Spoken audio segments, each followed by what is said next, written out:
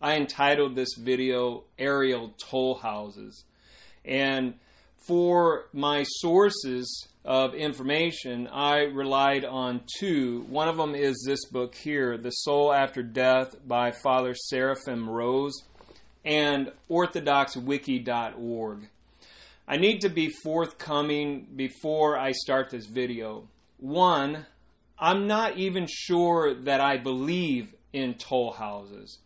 Maybe they shouldn't be taken literally. Or maybe they are real and they should be taken literally. Maybe I won't even know until after I die. Two, I have a fascination with this topic. I am intrigued by aerial toll houses. And three, I'm not an Orthodox Christian. So my beliefs are different in some ways than what I'm going to be talking about. But with that being said, it doesn't mean that I am saying that the Eastern Orthodox Christian Church is wrong. I'm not saying that at all. I'm just saying that I am not an Orthodox Christian. So, according to the Eastern Orthodox Christian Church, when a person dies, the person's soul leaves their body and is guided by angels to heaven. Along the way, the soul must pass through various aerial realms that are guarded by demons. And Father Seraphim Rose says that the aerial toll houses are places which the demons inhabit in this fallen world, and the place where the newly departing souls of men or women encounter them in the air.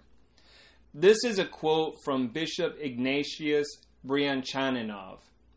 He states that for the testing of souls as they pass through the spaces of the air, there have been established by the dark powers separate judgment places and guards in a remarkable order. In the layers of the under heaven, from the earth to heaven itself, stand guarding legions of fallen spirits.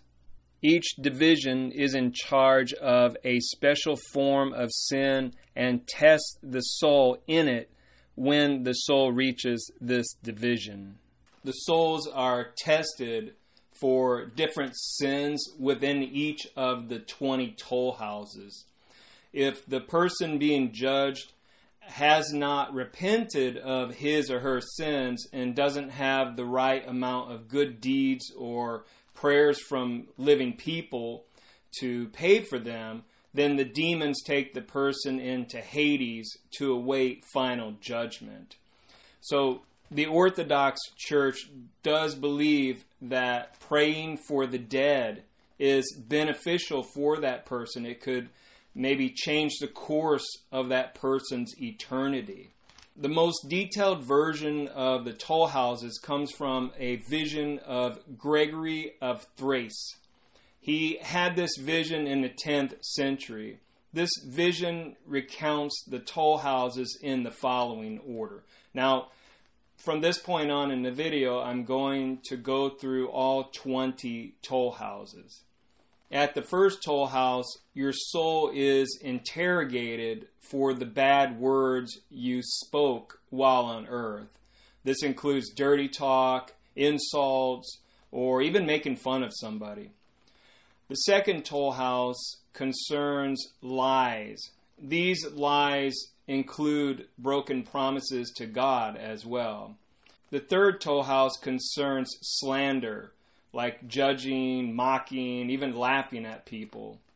The fourth toll house is gluttony, like overeating, alcoholism. I, I suppose obesity is included in this. The fifth toll house is about laziness. This also means neglecting God too, like failing to go to church or reading your Bible. The sixth toll house is concerned with theft you know, like robbery, stealing, and so forth. The seventh toll house deals with covetousness. This is for people who love money and material possessions and who didn't give to the poor or needy. The eighth toll house is usury. This is the practice of making unethical or immoral monetary loans that unfairly enrich the lender, like loan sharks. They do this. And so do those uh, loan places that are on like every corner where they're, uh, you know, you take out a loan for a hundred dollars and you pay back a thousand. I believe that that should be included. The ninth toll house concerns injustice. Um, this is accepting bribes, being dishonest in business, and so forth. The tenth toll house is envy. Uh, this is a reaction to somebody having more than yourself and you wanting that. The 11th toll house is about pride, being vain, boastful, and so forth. The 12th toll house is concerned with anger and rage, like losing control and striking someone, you know, out of that rage that you feel. The 13th toll house is concerned with evil, someone who holds a grudge, has hatred in his heart. This is part of that as well. The 14th toll house involves murder. Even wounding someone is a form of murder in this toll house. The 15th toll house is about the use of magic, such as uh, using Ouija boards or other forms of magic that is uh, occultic the 16th toll house concerns lust. This is uh, having unclean thoughts towards the opposite or same sex. The 17th toll house concerns adultery, you know, like cheating on your spouse. The 18th toll house is about sodomy, like homosexual acts, bestiality, masturbation is included. The 19th toll house concerns itself with heresy. This is rejecting the Orthodox faith or wrongfully interpreting the text. The 20th toll house is the house of unmercifulness, like failing to show mercy on people. Not all members of the Orthodox Church consider toll houses to be real some even call it a false doctrine. Uh, some even say it's a form of Gnosticism. But ultimately, God is the judge. So demons can accuse or show a record of our sins, but that's all they can do. And by repenting to God, to saying, Please forgive me for my sins, you will achieve salvation. Thank you for watching. Bye.